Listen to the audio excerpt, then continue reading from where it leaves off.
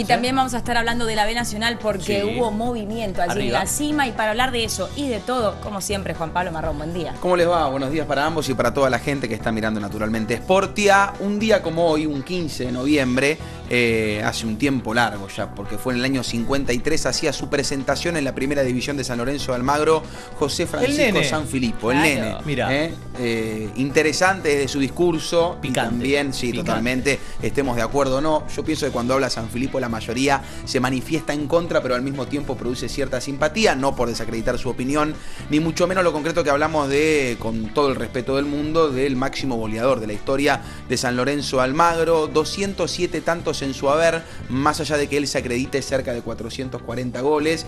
Pocos recuerdan que su partido de despedida fue jugando para San Miguel, después de haber sido técnico de Vélez Arfi en el 78 jugó en San Miguel, pero bueno, eh, lo concreto es que estamos hablando de uno de los grandes baluartes de la historia del fútbol argentino, Sí, claro. que un 15 de noviembre del 53 vestía por primera vez la casaca de San Lorenzo de Almagro. Mira.